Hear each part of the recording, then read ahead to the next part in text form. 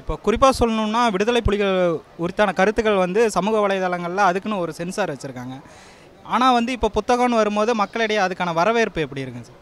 இல்லை நேரடியாக நாங்கள் பார்க்கும் பொழுது மக்களுடைய வரவேற்பு பெரும்பான்மையாக இருக்குது சின்ன குழந்தைகள் முதல் கொண்டு பிரபாகரனுடைய படங்கள் பார்க்கும் பொழுது உடனடியாக எடுக்கிறாங்க.